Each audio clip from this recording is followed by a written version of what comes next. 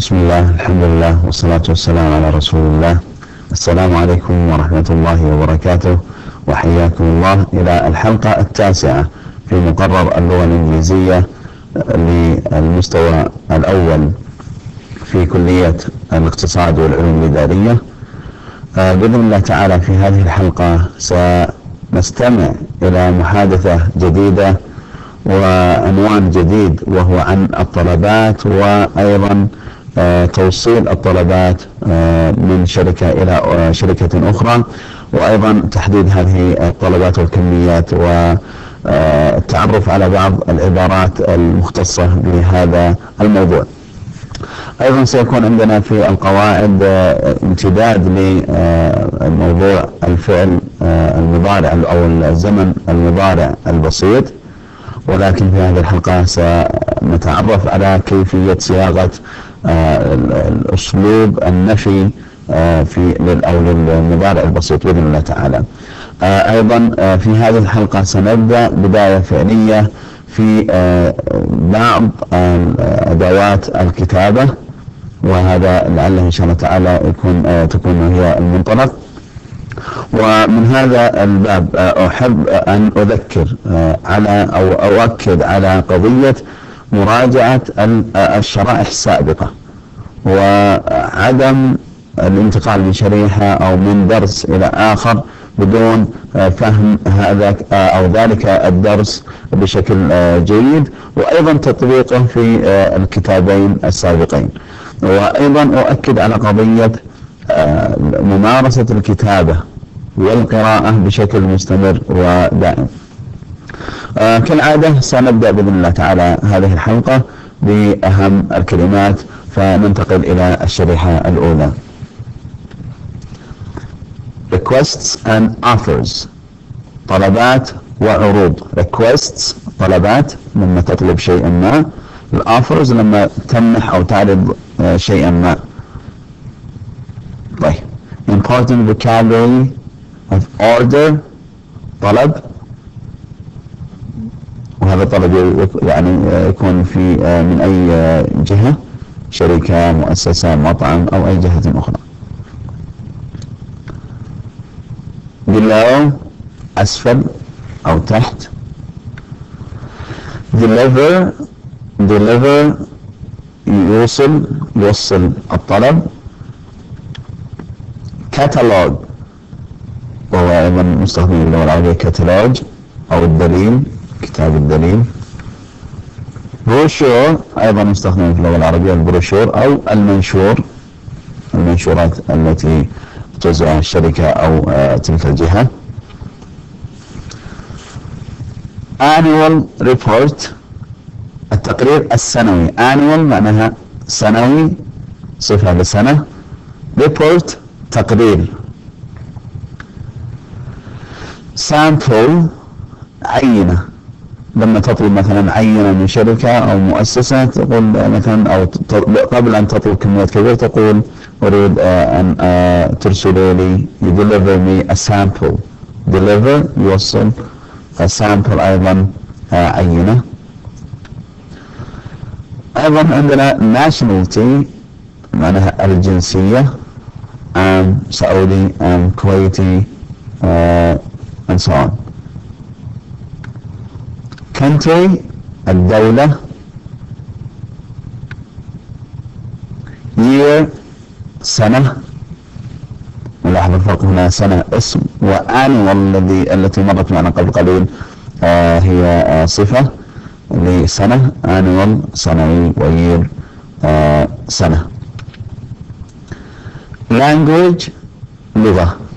اللغة التي تتحدثها. I speak Arabic. Uh, they speak English or their uh, uh, their language is Arabic or my language is Arabic. Details التفاصيل.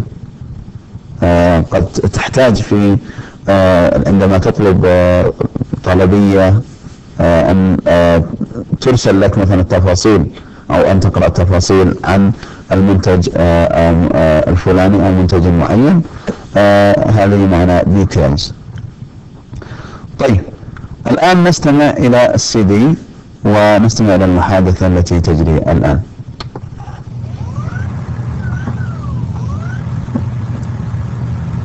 What can I do for you, Yuko? I'd like to order more silicone wafers, please. The order number is C215. C215. How many do you need? 800, if possible, please. Just a moment. Yes, that's okay. Great. Could you deliver them by the 25th? The 25th? I'm sorry, Yuko. That would be a little difficult. But we could deliver them by the 30th, if that's okay. The 30th? Yes, that's okay.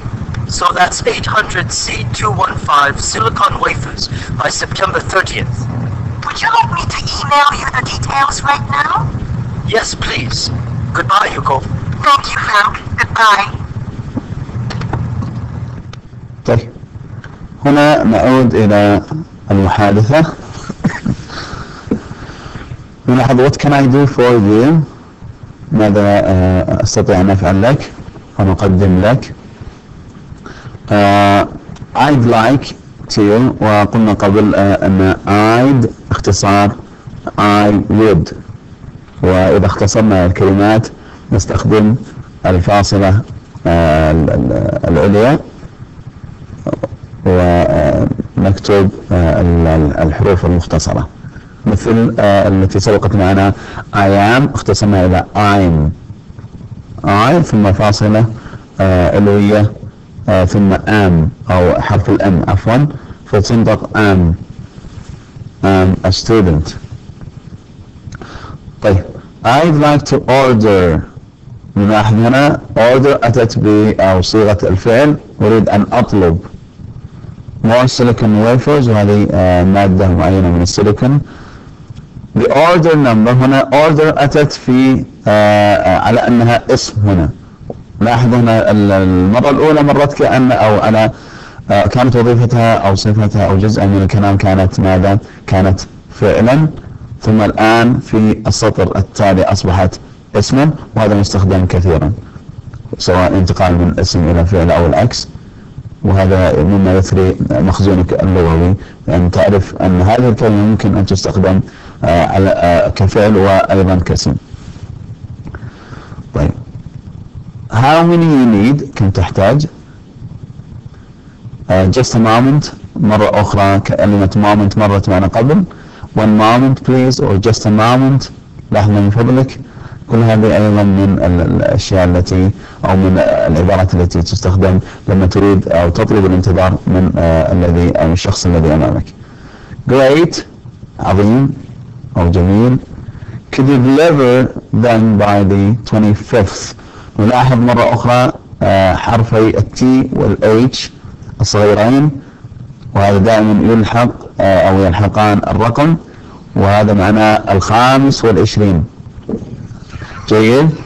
ثم عندنا الآن the 25th I'm sorry. نلاحظ هنا الاختصار. I'm sorry. ولا وإلا فهي في الأصل. I am sorry. طيب.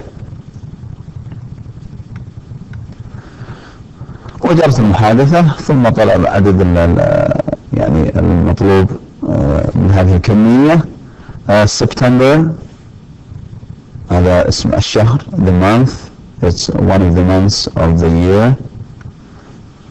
آه، email email هذا موجود مستخدم البريد الإلكتروني. The details هنا the details التفاصيل. Right now معناها الآن right now. ثم أخت- أختتمت المحادثة بهذه التحية goodbye. آه طيب. هذه بالنسبة للمحادثة. آمل أيضا أن آه تعودوا إلى الكتاب هذا Business Venture Number One وتستمعوا إلى المحادثات الأخرى الموجودة آه في هذا الكتاب آه لأن فيها آه فائدة لكم بحيث تستمعوا إلى طرق مختلفة من الطلب والعرض. وهذه الأمور وأيضا تستفيدوا كلمات آه جديدة بإذن الله تعالى. طيب كما قلت آه، القاعدة اليوم هي امتداد للحلقة الماضية وهي عن المضارع البسيط زمن المضارع البسيط. لكن اليوم سنأخذ كيف نستخدم أسلوب النفي آه، في المضارع البسيط مع المضارع البسيط. إذا أردنا أن ننفي آه، مثلا نقول آه، علي plays football. علي plays football. علي يلعب الكرة. نريد أن نقول علي لا يلعب الكرة. جيد؟ هذا المقصود بالنفي. علي لا يلعب الكرة. فاطمة تأكل البرتقال. كيف نقول؟ فاطمة لا تحب أو لا تأكل البرتقال. آه، لعلنا آه، ننتقل إلى الشريحة ونشاهد آه، بعض الأمثلة. طيب القاعدة أن يكون عندنا ال subject جيد. ولعلكم ترجعون إلى الحلقة الماضية وتعرفون معنى ال subject عندنا أيضا do or does. واحدة من الثنتين. و هذه مرتبطة بالمحاضرة آه، الماضية. آه، التي لا نستخدم معها أو مع الفعل s آه، نأخذ معها do. والكلمة أو ال subject اللي نستخدم مع s في الفعل نستخدم معه does وتتضح بإذن الله تعالى الآن.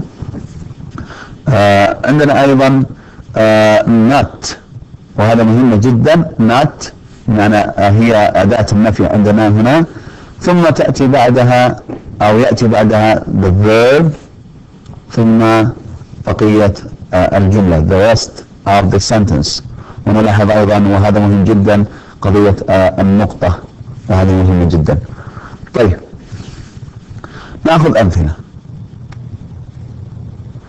عادل is singular. Adil is singular. Does not, does not eat fish. Okay? So, لو حذفنا does وحذفنا not ونريد أن تكون الجملة مثبتة وليست منفية نقول علي أو عفوا عادل eats fish And Adil is the subject and uh, he is singular is a singular noun اسما مفرد لأنه اسم مفرد. فنقول عادل eats fish. لكن نريد أن ننفي هذه الجملة فنقول عادل does or do. نستخدم does أو do. يعتمد على ماذا؟ على أصل الجملة. إذا كان الكلمة أو الفعل عفوا هنا معه معها s في الأصل وليس هنا. في الأصل نقول عادل eats fish هذه أصل الجملة. عادل eats fish فنستخدم does لأن نريد أن نحذف ال s الموجودة مع ال eat ثم نأتي باداه النفي وهي not. ونضعها بعد does مباشرة. لا نفصل بينهما. عادل does not. ثم نأتي بالفعل وباقي الجملة. He does not eat fish. He does not eat fish. لو أردنا أن نتكلم عن امرأة she does not eat fish. لو أردنا أن نتكلم مثلا عن آه شيء آه غير عاقل مثلا قطة cat the cat does not eat fish. فهذا هو أسلوب النفي الموجود مع آه أو الذي نستخدمه مع الزمن المضارع البسيط. طيب عفوا نلاحظ هنا the subject now is what plural. Ali and Badr we have two people. طيب. في أصل الجملة علي أن بدر لو يعني لو آه الذي لم لا يفهم الآن يعود إلى المحاضرة السابقة وسيجد آه شرحا وافيا بإذن الله تعالى عن هذه آه أو عن الزمن المضارع. وإذا لم تكن المحاضرة أيضا وافية ستجد أمثلة آه، كثيرة في آه، الكتاب أو كتاب القواعد بإذن الله تعالى. علي أن بدر اثنان هما الآن. أصل الجملة نقول علي أن بدر. Play football play golf. عفوا. Play golf. لا نضع اس مع play لأننا نتكلم عن شخصين أو نتكلم عن شيئين أو لأن الضمير ضمير جمع أو كما قلنا في المحاضرة السابق I أو you أنا وأنت. طيب. علي and بدر play golf. يلعبان الجولف كيف أنفي هذه الجملة؟ أقول علي and بدر do not. ال not كلمة not ثابتة في جميع آه، الحالات لكن اللي يختلف عندي هنا هو does أو do وهذه هي قاعدتها. إذا كان أصل الفعل الذي استخدم أو الجملة الأصلية معها s فأستخدم does وأحذف ال s أنتبه. نحذف ال s لا نلقيها أبدا. طيب مثال آخر. They أيضا هذا الضمير this is a pronoun. They do not watch TV they do not watch TV لاحظ. أيضا she does not work. لاحظ الآن. هذا مهم جدا. أنا حضرت هذا المثال لهدف وهو هنا وضعت آه، القوسين اللي يعنيان أن الموجود بينهما آه، قد يكون موجودا وقد لا يكون آه، حسب الاختيار حسب التوفر في الجملة. مثلا هنا she does not work. هي لا تعمل. لكن ليس عندي بقية. ليس عندي شيء آخر أو معلومات أخرى. لكن she does not work in the library مثلا. هي لا تعمل في المكتبة. لو أردت آه، آه، لو كان أصل جملة فيها شيء مضاف. طيب. نلاحظ هنا أيضا she does not does. لماذا؟ لأن she دائما تأخذ does وحسب آه، الضمائر التي مرت معنا في السابق. لو أعدنا الجملة إلى أصلها نقول she works. she works. ما نقول she work هذا خطأ. لأن الشي تأخذ مع أو آه، يأتي مع الفعل يأتي معها ماذا؟ أس. هذه بالنسبة لطريقة نفي آه، الجمل في الزمن المضارع البسيط. طيب الآن آه، نأتي إلى صياغة الأسئلة. وكما أخذنا قبل كيف نصيغ يعني صيغنا أكثر من نوعية من الأسئلة. الآن نصيغ الأسئلة التي تكون إجاباتها بنعم أو لا. فقط في هذه الحلقة. ولعل يعني تكون سهلة لأنها مرت من قبل كفكرة وكطريقة. فأيضا آه، نتعرض لهذه الطريقة في هذه الحلقة بإذن الله وإن شاء الله تكون سهلة. طيب هذه هي قاعدتها. نستخدم do or does حسب الموجود عندنا. حسب the subject. It depends on the subject. تعتمد على ماذا؟ على السبجكت. إذا كان مفردا نستخدم does. إذا كان جمعا نستخدم do. ثم يأتي بعد ذلك الفعل في المصدر. لعلكم سمعتوا بهذه الكلمة. infinitive. يعني المصدر بدون أي إضافات. بدون اس بدون ماضي بدون أي شيء كما هو موجود في المصدر. ثم تأتي بعد ذلك الأقواس مرة أخرى إذا كان هناك إضافات في الجملة. ومن أهم مهمات استخدام كلمة أو عفوا علامة الاستفهام. طيب نأخذ أمثلة هنا. Does Ali eat fish استخدمت نفس الجملة السابقة.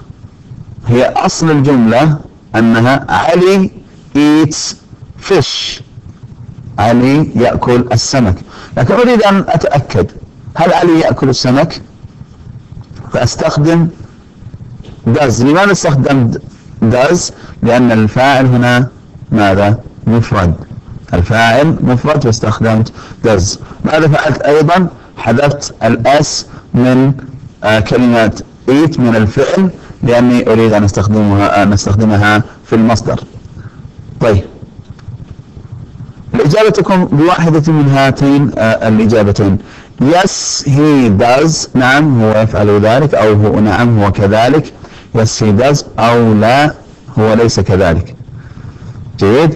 Yes or no إذا آه، استخدمنا yes نقول he. هي تعود على آه، أو إلى من؟ تعود إلى علي. لو كانت مثلا هدى نقول she. لو كانت القطة نقول it جيد؟ ونستخدم بعدها آه، هذا الفعل المساعد does. لماذا؟ لأن الفاعل هنا ماذا؟ ننتبه للفاعل في الإجابة وليس الفاعل في السؤال. طيب هنا الفاعل يكون عندنا he does. أو بالنفي والنفي إذا قلنا no يأتي معها كلمة not في هذه آه في هذه الكيفية من الأسئلة. No he does not no he does not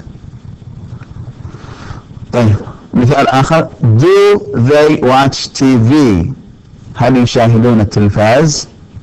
Do استخدمنا do. لماذا؟ لأن الفاعل هنا جمع. Do they watch TV ونلاحظ أيضا watch في المصدر وهي أصلا في المصدر في آه الجملة. طيب. الإجابة ما كيف تكون؟ عندنا yes وعندنا أيضا no نعم ولا. yes they do. نلاحظ الفاعل هنا they ثم نستخدم do. لماذا لم نستخدم does لأن الفاعل آه جمع. أو no they do not. طيب. مثال آخر. Do you work do you work? Do you work? نلاحظ أن علامة استفهام مهم استخدامها. نقول yes I do. لاحظ قلبنا الكلام أو قلبنا أو غيرنا من الكلمات هنا. لماذا؟ لأنك أنت تسألني الآن. أنت تسألني. فليس من الصحيح أن أجيبك بنفس سؤالك. فأنت تسألني. هل تعمل؟ أقول نعم أنا أعمل. ليس ولا أقول نعم أنت تعمل. جيد. فنفس الشيء في اللغة الإنجليزية do you work? هل تعمل؟ نعم. أعمل أو لا؟ لا أعمل. Yes I do أو no I do not. جيد. طيب هذه بالنسبة لصياغة الأسئلة. آه نبدأ الآن في آه الكتابة وهي يعني بداية بسيطة جدا وسبق أن تحدثنا عن الكتابة وكتابة الجمل وأنكم تتمرون على الكتابة وتستعدون آه لكتابة آه الفقرات فلعلكم أيضا آه تزدادون نشاطا وجدية في هذا الأمر. Capitalization rules قواعد تكبير الحروف. متى نضع الحرف كبيرا ومتى نضعه صغيرا؟ هناك بعض القواعد الأساسية لعل يعني نتحدث عن أهمها. الأول the first word of any sentence. الكلمة الأولى من أي جملة لابد يضع لها الحرف capital. يكون حرف في الصيغ أو الشكل. الكبير وليس الشكل الصغير. مثلا نلاحظ عندنا كلمة the.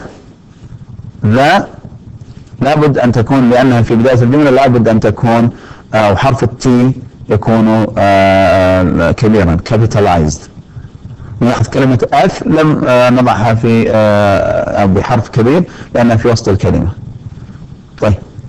The pronoun I دائما الضمير I دائما يكون كبير. دائما it's capitalized.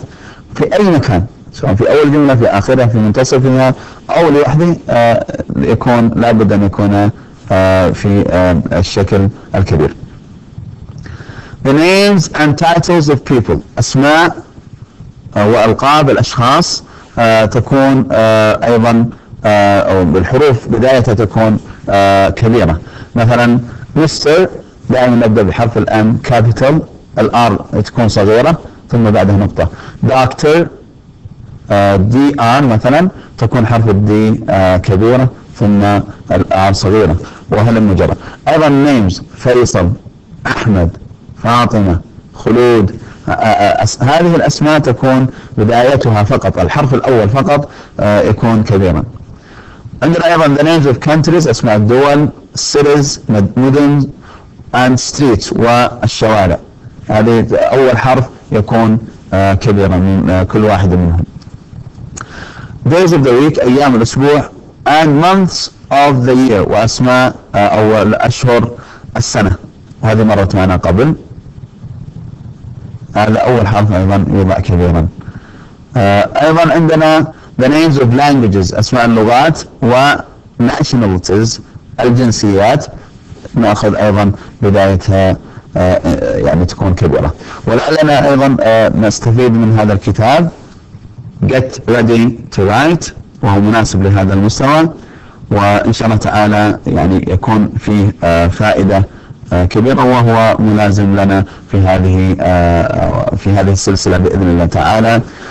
آمل أن أكون آه، قد أفدتكم في هذه الحلقة وفي الحلقات السابقة وإن شاء الله تعالى نلتقي وإياكم على خير وبر. والسلام عليكم ورحمة الله وبركاته.